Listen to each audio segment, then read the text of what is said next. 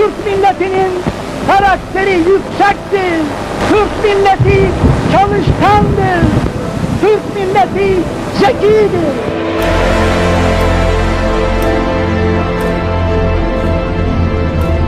Bu proje için çalışıyorum.